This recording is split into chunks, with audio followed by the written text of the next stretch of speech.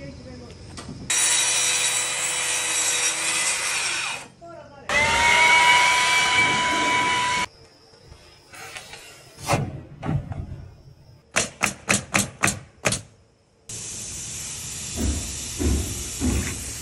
don't use hangers on the rafters, we use straps to hold them together.